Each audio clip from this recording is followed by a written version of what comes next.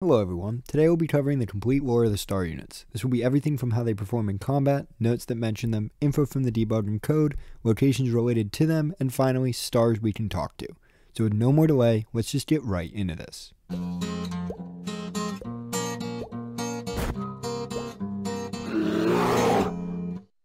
Star Unit, Scheiße heißt Technik Offshore Replicas, also known as Starlings, are combat replicas of the fourth generation. These units are the standard guard units, and a Starling is a bird, meaning that they, much like their sisters, share in the bird motif. By the events of the game, almost all the star units have been corrupted. These lost replicas usually are armed with batons which they used during their time as guard units. Using debug, we can see that they sport 55 HP, placing them between the late game mules with 50 HP and the storches, which have 80. These units sport extra speed compared to some other units, being able to quickly move towards you and swing their baton at you. There are also officer stars, which have shields that they can use to block damage. The best way to handle the regular stars would be use a shotgun at point blank range. However, with the officer stars, the rifle is able to penetrate their shields and thus is the better response for them. We can also learn more about the stars from their replica overview page. This can tell us that they are a Generation 4 low cost combat unit that sports a biomechanical with polyethylene shell and bullet resistant with armor plating frame. Continuing to the overview page, it reads as follows The standard model of the Protector Security Technicians. Fitted with extended legs, star units gracefully tower over most gestalts. Despite their heavy armor, they can move swiftly with their long stride. Their cool and detached demeanor allows them to analyze situations with objectivity and deploy force as required. Trained in close combat and riot control techniques, they operate best in small squads led by an officer star equipped with a ballistic shield. We can learn more about the issues these units face from their replica issues page. Despite their normally laid back demeanor, stars have a strong internal hierarchy, which is important to take into consideration when promoting units to officers. Not promoting a respected unit or promoting a unit low in status can lead to friction within dorms. Stars will occasionally develop in groups involving physical punishments. It is recommended to allow some officers to own military weapons as fetish objects to stabilize their persona. In the game, we learn details about specific star units across multiple notes. Starting off is Star S2305. S2305 is the protector on duty for the search protocol document. Star S2306 is the star who filed request form F29 she is a guard in the workers' quarters. She requests a repair on the door with the following details Service object, Himmel Type D automatic security door. Location of object, worker block A6 corridor. Description, the lock on the staff door in A6 is jammed again, requesting a locksmith. And this is in reference to the door that we ourselves have to unlock with a locksmith box. Star S2320 is depicted on the identification card that we use to access the elevator. From the details on the card, we can see that she is a guard for the hospital wing, level 3, from cycles 3 through 9. Star S233, also known as Tank, is depicted on the shooting range scoreboard. She has the nickname of Tank and is seen as scoring below Sieben and Hunter, which means she's a pretty good shot, but not one of the best. Next, though, we have Hunter. Star S3131, or Hunter, is shown as having a signed star poster and a nickname. This poster can be found within Stardorm North. Hunter is also noted on the shooting range notes, seen as the number one shot in the facility, acquiring the top four spots with scores of 60 60, 60 60, 60 60, and 1 52 60, placing above both Tank and Sieben. Seeing as there's only one star in the room that we find this note, it could be theorized that the star in the dorm is all that remains of Hunter.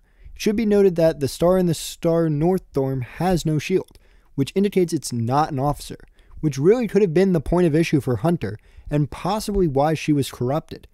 Or we could take it to suggest that this is not Hunter at all.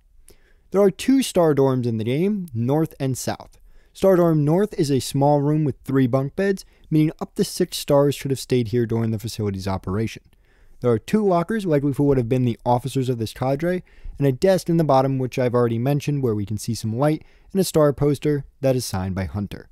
Stardorm South, also just called Stardorm in debug, is located directly below the Aura dorms, and is accessed by jumping down a massive hole in the bottom of that dorm that connects to the Stardorm. This room has four bunk beds, meaning up to eight stars could have stayed here during the facility's operation, also meaning it's the largest dorm. There are lockers next to each beds, as well as a desk on the far side of the door. On this desk, there is another star poster. On the north side of the room, there is a Heimat poster which shows the unit's pride in the revolution and the nation in general. There are two stars that we can talk to in the game. In the re-education wing of Sierpinski, we come across a wounded star in the Yarula. This star is the first NPC we meet in the game. Elster and her have the following conversation.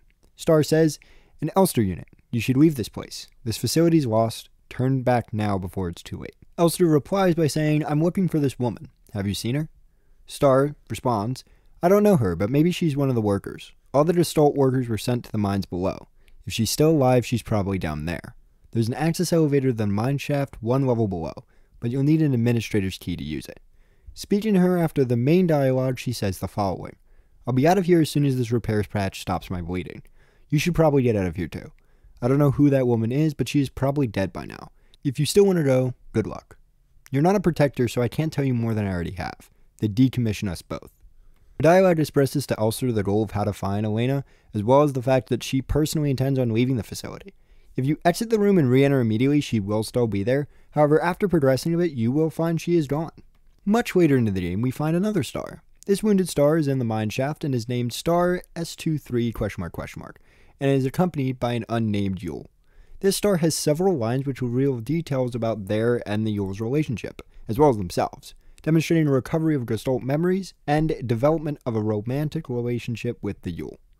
They state the following Hey, don't cry. It'll be over soon. Remember that time we went to the surface? The stars were so beautiful. I wish we could go there again. Hey, listen. I'll let you in on a little secret. I can remember my name from my old wife. Isn't that funny? Don't you want to know it? Here, I'll tell you. It'll be our secret together. So you can stop crying, okay? It'll be okay. Wherever it is I'm going, I'll wait for you there. The room the duo is found in is referred to in debug mode as Star Room, in the background audio of this room, one can hear the faint crying of a Yule.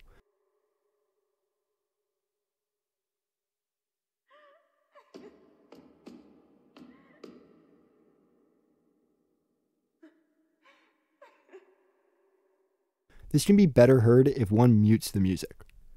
Also, around the pair, there is an entire cadre, including two Yules and four stars crowded around them. The meaning of this could vary, However, they are noticeably not corrupted. A theory about their fate goes as follows. Seeing as there is an entire cadre here, this cadre likely fled into this room for safety when the infection took over the mines. However, due to lack of lighting or flashlights, they were unable to see the wires, and thus ran straight into them. This decimated the cadre and heavily wounded the last star. After the cadre slowly died out, trying to get to the corner in some relative safety, it really only left the last final pair of the Yule and the Star, who were lovers likely meaning they stayed close to each other during the frantic attempt to cross through the darkness, meaning the star possibly could have took a hit on the wires, shielding the Yule from the wires to protect them. And the Yule could have dragged her from her wounded spot and the bodies of her cadre over to the clearing, possibly slightly before Elster arrives. But with that, I've now covered every detail that we have on these soldiers. They are a rather interesting enemy and have lore that adds depth beyond just an enemy without a face. While we cannot help the star and Yule, nor can we travel with the star at the start, we can at least help put their sisters to rest and find some solstice that way. But that's all I've got for you guys today. If you like this type of content, feel free to either subscribe or join my main Discord link below, the unofficial Signalis Discord also linked below, or the Ardash Signalis Discord link below. All three are awesome places that you'll be able to find people to talk about Signalis to. But for today, this has been Christopher Beast, and I hope to see you all next time.